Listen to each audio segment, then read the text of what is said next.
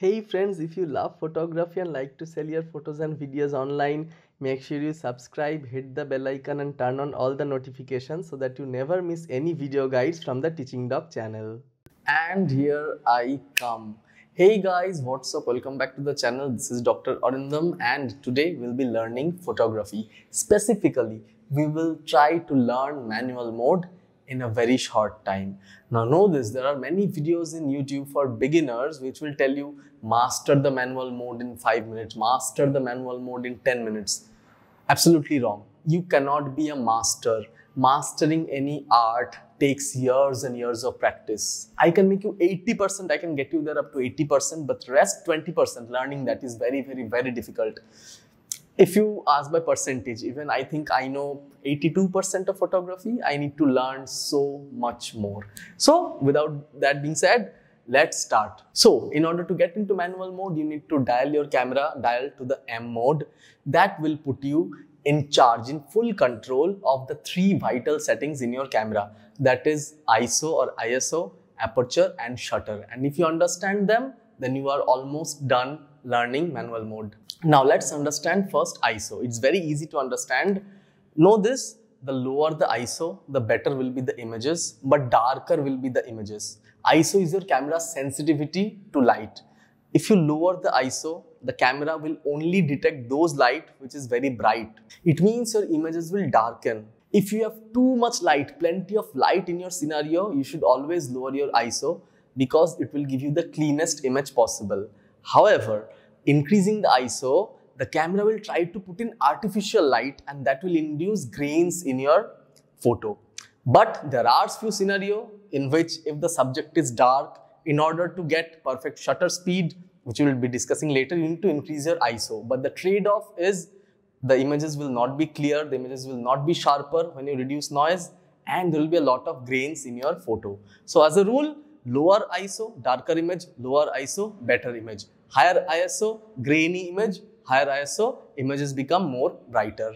Next is aperture, which is super easy to understand. Aperture is the hole, okay? The size of the hole which your lens blades make, okay? In this lens, there is nine aperture blades. What they do, they simply make a hole just like pinhole camera and through that hole, light will pass through the subject, pass from the subject and will pass through that hole into the image sensor. Now, the rule is the broader the aperture, naturally more light will enter.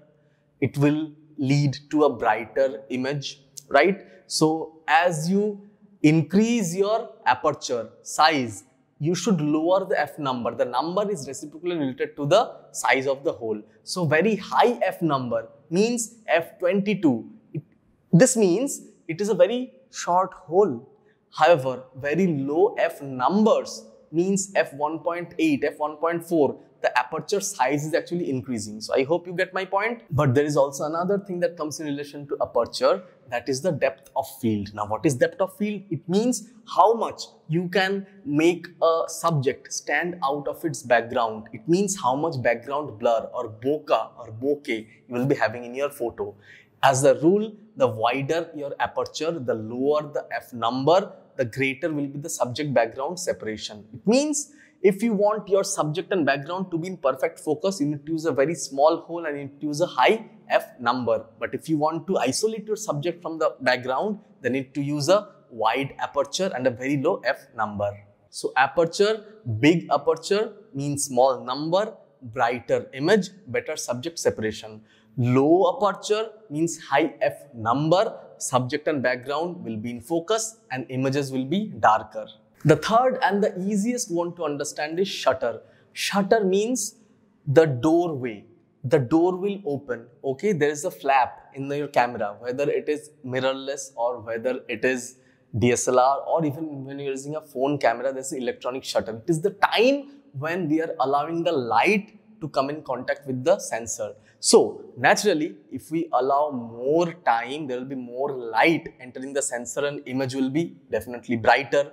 So if we use a very high shutter speed, it means the shutter is opening and closing very fast. Then a small amount of light will enter, right? So images will be darker. But there are ways in which we can actually reduce this aperture and shutter speed and ISO in order to make the exposure same. We'll be discussing that in a moment. But know this rule, if you're using a very large shutter speed, I mean very fast shutter speed, there will be frozen motion. You can spring, capture sprinkle water droplets. You can capture a very high motion but it will remain frozen in time in photo. However, if you use a very slow shutter speed, for example, one second, two second, then it will create a motion blur in your photo. So the rule of shutter, faster shutter speed, frozen motion and darker images, slower shutter speed, brighter images, but there's a chance of motion blur. Now there are scenario where we need to actually play with the aperture and the shutter speed in order to create a creative focus of our image, right? And that's the very reason we are discussing manual mode.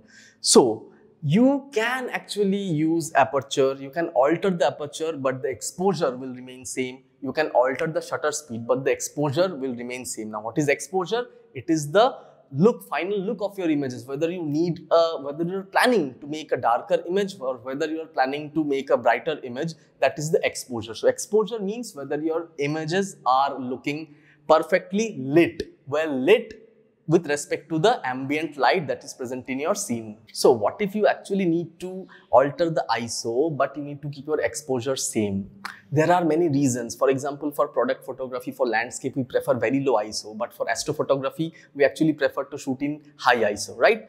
Now, in order to lower the ISO, you need to either number one, increase the aperture size, that is use a lower f number, or you need to decrease the shutter speed this too may sound very easy, but increasing the aperture size may not always be an option because for kit lens, you can maximum widen your aperture to f3.5, that to at 18 millimeter, right? So increasing the shutter speed, I mean, decreasing the shutter speed is actually very easier, but you will always need a tripod for that.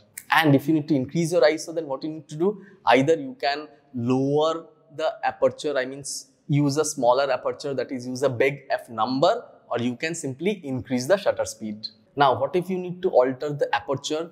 Definitely, in some cases for landscape, we use a very high f number that is we want everything in focus but for portraits we need to use a very wide aperture because we need the subject to stand out of background so if you are lowering the aperture in order to keep the same exposure you should increase the shutter speed or you can decrease the iso and if you want to use a smaller aperture that is a high f number you can increase the ISO or you can decrease the shutter speed. Remember decreasing shutter speed is very risky for handheld photography unless your lens has got image stabilization. So always keep a tripod with you whenever you are shooting with a slow shutter speed. Next, what if we need to alter the shutter speed? Now, why will you alter shutter speed? Because I just told you using slow shutter speed actually gives you blurred photos. Well, there are many uses for that. For example, if you want to shoot a night sky or any trail or motion blur or any firework or even waterfall, we need very slow shutter speed.